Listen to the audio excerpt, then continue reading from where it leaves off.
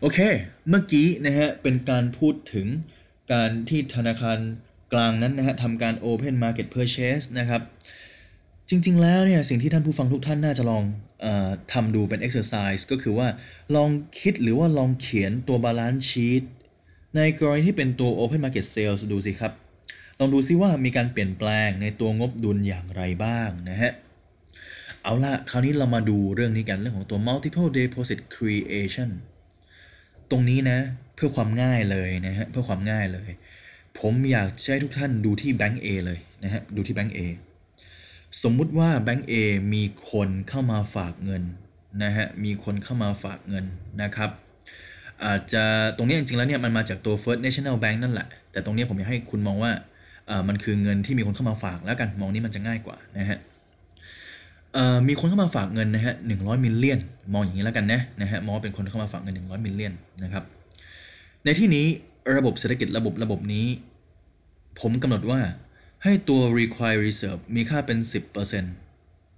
นั่นคือตรงนี้พอมีคนเอาเงินมาฝาก 100 million ซึ่ง 100 million ตรงนี้นะฮะ มาจากการปล่อย loan ของตัว First National Bank แล้วสมมุติว่า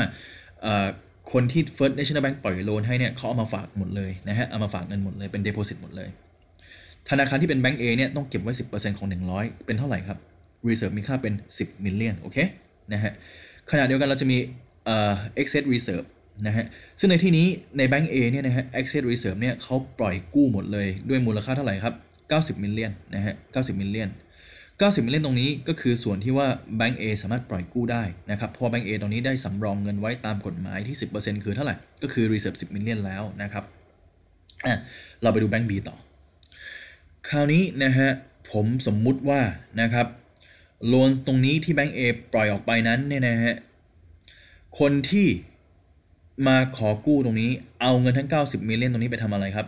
ไปฝากต่อเห็นปะในแบงก์ B ไปฝากต่อในแบงก์ B นะตรงนี้ 90 million เนื่องจากว่าแบงก์ B อยู่ในระบบเศรษฐกิจระบบเดียวกันนะฮะกับระบบที่ผมอธิบายไปเมื่อกี้แบงก์ B ต้องทำการเก็บสำรองเอาไว้ maintain เอาไว้เท่าไหร่ครับ 10%ของ loan คือเท่าไหร่ฮะ คือ 9 million โอเค จากนั้นมี excess reserve ที่สามารถปล่อยกู้ได้เท่าไหร่ 81 million นะฮะ 81 million ตรงนี้นะฮะ กระบวนการในแบงก์ B จะดูนะ ดูทางฝั่งที่เป็น asset นะ reserve คือ 9 million เก็บไว้ตามกฎหมายเป๊ะนะครับ และมีการปล่อย loan เท่าไหร่ครับ ที่เป็น excess reserve ตรงนี้ที่ปล่อย loan 81 million นะครับอะคราวนี้ผมตีต่างต่อว่าในแบงก์ B นะครับปล่อย loan ให้กับคนคนหนึ่ง คนคนนี้เอาเงินทั้งหมดมาฝากอีกในแบงก์ C ฮะ เช่นเดียวกันเลยนะฮะ 10%ของ 81 million คือ 8.1 million แบงก์ C มี excess reserve ที่สามารถปล่อยกู้ได้คือ 72.9 มิลเลียน ชั้นใดก็ชั้นนั้นแบงก์ C ก็ปล่อยต่อฮะ ปล่อยปุ๊บ คนไปฝากในแบงก์ D ต่อ กระบวนการตรงนี้เนี่ยนะฮะ ฝากถอน ฝาก ถอน ฝาก ถอน ปล่อยกู้ ปล่อยกู้ ฝาก ปล่อยกู้ฝากปล่อยกู้ฝากปล่อยกู้ฝากไปเรื่อยๆเลย เป็น infinity นะฮะผมใช้คำว่า so on and so forth นะฮะคืนไปเรื่อยไอกระบวนการตรงนี้เราเรียกเป็น multiple deposit creation นะฮะ multiple deposit creation คือปล่อยกู้ปุ๊บอ่าเอาเงินไปที่เราไปฝากฝากไว้ปุ๊บแบงก์อีกแบงก์หนึ่งปล่อยกู้ต่อ ปล่อยกู้ปุ๊บมีคนเอาไปฝากเต็มหมดเลยนะฮะฝากปุ๊บปล่อยกู้ฝากปุ๊บปล่อยกู้ฝากปล่อยกู้ฝากปล่อยกู้ ตรงนี้แหละนะฮะเกิดขึ้นไปเรื่อยฮะในระบบเศรษฐกิจของเรา ซึ่งสามารถสรุปได้ตามตารางตารางนี้ฮะเพื่อทำเรื่องให้มันง่ายลงให้ทุกคนมองที่แบงก์ A เลยนะนะฮะตัว First National Bank เราเราข้ามเลยนะฮะที่แบงก์ A เราดูนะนะครับ Deposit ตรงนี้เท่าไหร่ฮะตอนแรกคือ 100 เลยเห็นปะนะฮะใน Deposit 100 ตรงนี้ถูกเก็บเป็น Reserve คือ 10 ปล่อยกู้คือ 90 เห็นไหม190 10 90 คือตัว Excess Reserve ที่ปล่อยกู้ 10 คือ Reserve ที่เก็บเอาไว้ เช่นเดียวกัน 90 ตรงนี้ก็จะไหลมาสู่แบงก์ B แบงก์ B เก็บเอาไว้ 9 ปล่อยอีก 81 81 จะไหลไปแบงก์ C แบงก์ C เก็บเอาไว้ 8.1 ปล่อย 72.9 72.9 ไหลไปแบงก์ D ฮะกระบวนการตรงนี้เกิดขึ้นไปเรื่อยๆนะฮะ เกิดไปเรื่อยในระบบเศรษฐกิจ ถ้าเราพูดในเชิงทฤษฎีก็บอกว่ามันเป็น infinity อะไปเรื่อยเลยนะฮะ ในท้ายที่สุดแล้วเนี่ย นะฮะในท้ายที่สุดแล้วพอมันสิ้นสุดกระบวนการเนี่ยไปถึง infinity แล้วเนี่ยนะฮะตัว Deposit จะมีค่าเป็น 1,000นะฮะโลนเนี่ยจะมีค่าเป็น 1,000 Reserve มีค่าเป็น 1,000 ตรงนี้เราสามารถคำนวณตัว reserve อย่างง่ายเลยนะนะฮะโดยการที่เราใช้สูตรข้างล่าง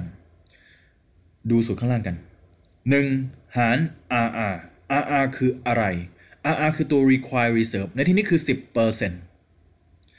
1 หาร 0.1 มีค่าเป็น 10 เท่า 10 เท่าตรงนี้ไปคูณกับ 10 10 มาจากไหน 10 คือตัว reserve ที่มันอยู่ในแบงก์ A เป็นจุดตั้งต้น 10 คูณ 10 มีค่าเป็น 100 100 คือตัว total reserve ทั้งหมดที่จะเกิดขึ้นผ่านกระบวนการ multiple deposit creation เช่นเดียวกันนะฮะ เช่นเดียวกัน ตรงนี้เราลองไปดูซิ นะฮะเราลองไปดูต่อว่า ถ้าคุณเอา 1 หาร RR นะฮะเอา 1 หาร RR เนี่ยนะฮะไปคูณนะฮะกับตัวที่เป็นตัว deposit ในแบงก์ A เลยตอนแรกสุดก็เท่าไหร่เท่าไหร่จาก 100 ใช่ไหม100นะฮะคูณ 10 ก็เป็นเท่าไหร่ฮะก็เป็น 1,000 เห็นไหมฮะขณะเดียวกันตรงนี้เราดูนะฮะตัวโลนโลนตรงนี้พอเราเอาเอ่อหนึ่งหาร RR ตรงนี้นะฮะไปคูณกับโลนที่เราจะได้คือค่าเป็นเท่าไหร่ฮะเป็น 900 ใช่ไหมฮะ แต่ 900 ตรงเนี้ยนะฮะ 900 ตรงเนี้ยนะฮะ มันยังไม่จบเพราะว่ามันจะมีการเอาไปรวมกับโลนที่อยู่ใน First National Bank ที่ผมบอกว่าให้เราละความสนใจไว้ก่อนในตอนแรกไปด้วย นั่นแปลว่าอะไร แปลว่าในกระบวนการการสร้างเงินตรงนี้นะฮะ มันจะมี 900 บวกกับ 100 ทั้งหมดจึงมีค่าเป็น 1,000 ไอสูตรของตัว1หาร RR ตรงนี้นะฮะ เวลาเอาไปใช้เนี่ย เราสามารถไปดูจากแบงค์แรก แล้วเราเอา1หาร RR คูณเข้าไป เราจะทราบว่าสุดท้ายแล้วเนี่ย ไอตัว total นะฮะ ทั้งหมดเนี่ยไม่ว่าจะเป็น total deposit total loan total reserve หรือทั้งหมดเนี่ยที่อยู่ในระบบเศรษฐกิจเนี่ยจะมีค่าเป็นเท่าไหร่เนี่ยเราจะทราบเลยจากสูตรนี้ ซึ่งตรงนี้นะฮะมันมีที่มาฮะมันมีที่มาฮะแต่อย่างไรก็ตามนะฮะที่มาตรงนี้นะฮะเดี๋ยวผมไปแสดงให้ดูในห้องแล้วกัน มันใช้ตัวอนุกรมเรขาคณิตในการแสดงนะครับจริงๆแล้วถ้าเกิดว่าใครเชี่ยวชาญเรื่องเลขสักหน่อยหนึงนะฮะจริงมันเขียนสมการออกมาได้จากตารางตารางนี้นะครับ ไอกระบวนการฝากถอนฝากถอนฝากถอนฝากถอนไปเรื่อยตรงนี้เนี่ยนะฮะมันเกิดไปเรื่อยจึงสามารถใช้ตัว geometric sum เนี่ยเข้ามาศึกษาได้นะครับ เอาล่ะเมื่อกี้พูดไปแล้วนะฮะถึงเรื่องของตัว monetary base นะฮะการเปลี่ยนแปลงของ monetary base คราวนี้เราจะมาดูตรงนี้กันนิดหนึ่งจริงๆเป็นเรื่องสำคัญมากเลยเรื่องนี้นะฮะนั่นคือ money supply เมื่อไรก็ตามที่ผมพูดถึงตัว money supply ในที่นี้เราจะมีความหมายเราใช้ความหมายของ money supply ว่าเป็นตัว M1 นะฮะตามนิยามของตัวเงินความหมายแคบและความหมายกว้างนะฮะความหมายแคบและความหมายกว้าง M1 เท่ากับตัว currency บวกกับตัว demand deposit เน้นย้ำนะ currency บวก demand deposit นะฮะคำถาม ธนาคารกลางสามารถคุม M1 ได้ perfect ไหม ไม่ perfect เพราะอะไร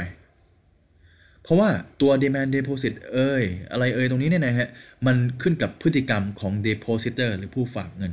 นะฮะมันขึ้นกับพฤติกรรมของ depositor หรือผู้ฝากเงิน รวมถึงมันอาจจะมีลักษณะพฤติกรรมของตัวแบงค์ด้วยในการที่เขาปล่อยกู้ต่อนะฮะได้เงินไปแล้วเก็บไว้ส่วนหนึ่งแล้วปล่อยกู้เนี่ยจะปล่อยมากปล่อยน้อยเนี่ยนะฮะมันคงไม่ได้เหมือนกับตัวอย่างที่เป็น multiple deposit เมื่อกี้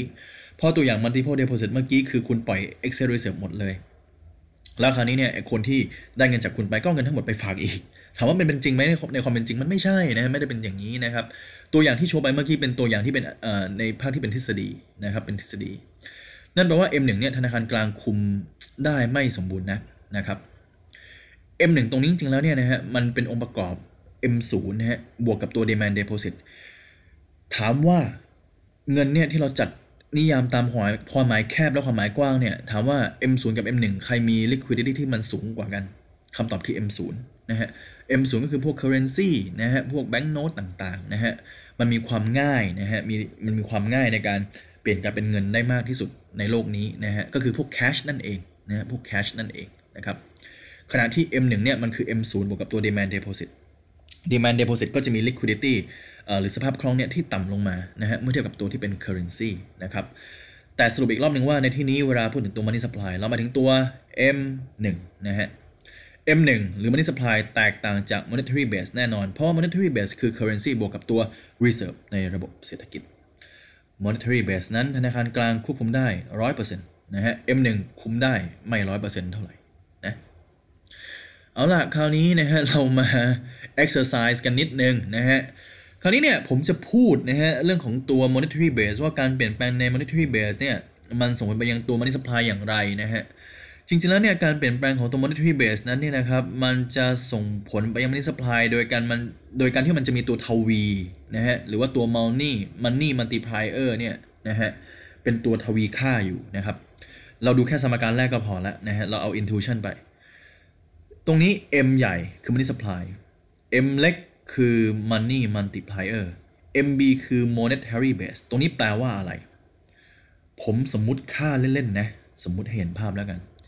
ผมให้ตัว m ตรงนี้ m เล็กนะฮะมีค่าเท่ากับ 2 แล้วกันอ่าเพื่อความง่ายนะนี่คือเพื่อความง่ายในการยกยกตัวอย่างนะฮะ m เล็กมีค่าเป็น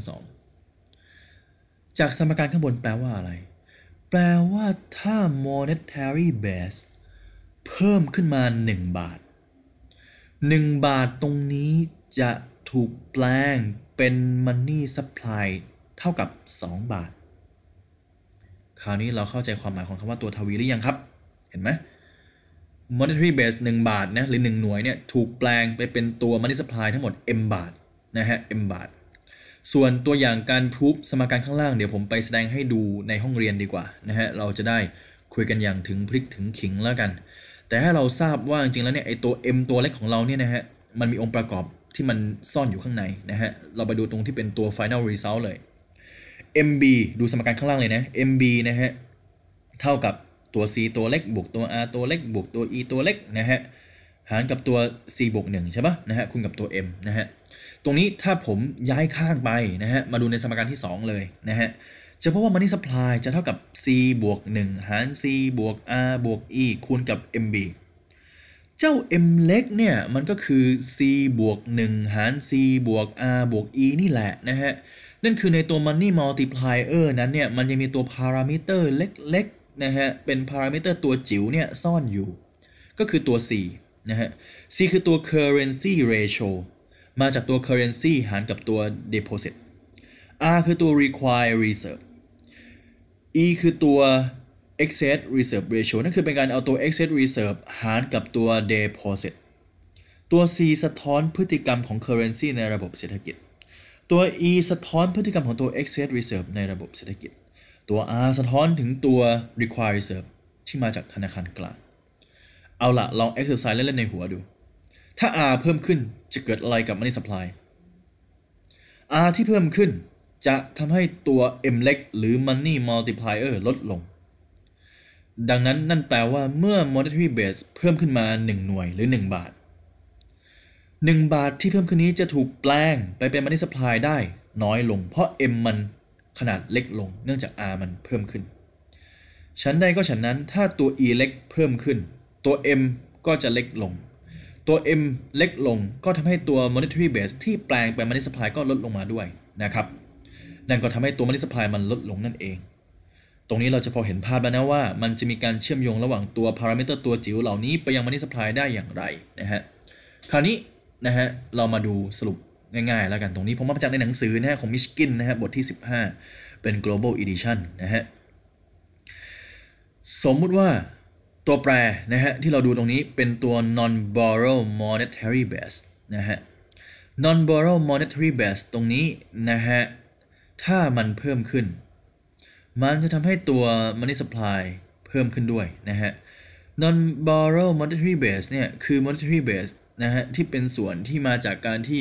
ไม่ได้มีการกู้ยืมนะฮะมาจากตัวของอธนาคารกลางนะฮะตัวนี้เป็นตัวใน non borrow นะชื่อมันบอกแล้วว่าเป็น non borrow นะฮะ MB ที่เพิ่มขึ้นนะฮะทำให้ตัว money supply เพิ่มขึ้น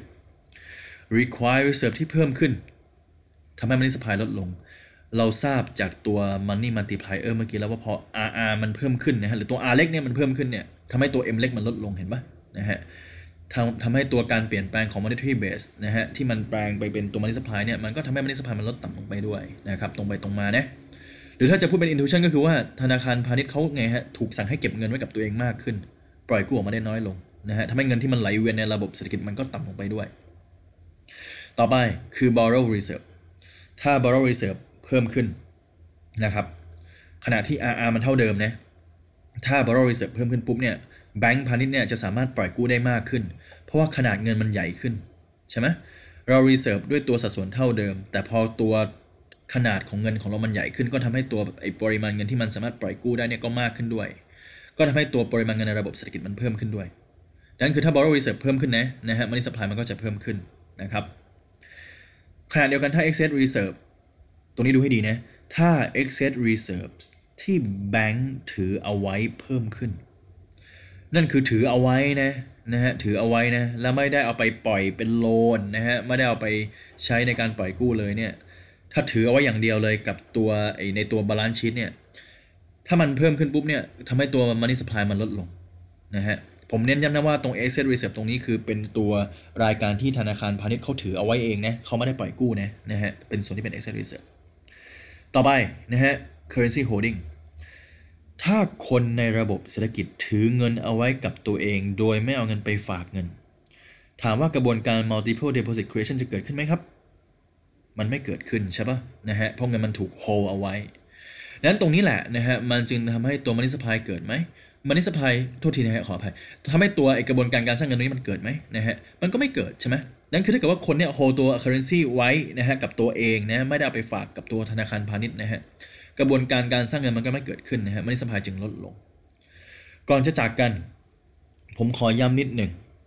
ว่ากระบวนการการสร้างเงินที่เรียกว่าเป็นตัว multiple deposit creation นั้น ไม่ได้มีการพิมพ์แบงค์ใหม่ขึ้นมา เน้นย้ำนะว่าไม่ได้มีการพิมพ์แบงค์ใหม่ขึ้นมา เพียงแต่เป็นกระบวนการฝากนะฮะฝากเงิน แล้วก็ปล่อยกู้ ฝากปล่อยกู้ ฝากปล่อยกู้ ฝากปล่อยกู้ไปเรื่อยๆนะฮะซึ่งจริงแล้วเนี่ยมันเป็นกระบวนการในการสร้างสภาพคล่องให้เพิ่มขึ้นในระบบเศรษฐกิจ ผมเน้นย้ำนะว่าเป็นการสร้างสภาพคล่องให้เกิดขึ้นในระบบเศรษฐกิจ ไม่ได้มีการพิมพ์เงินใหม่นะฮะ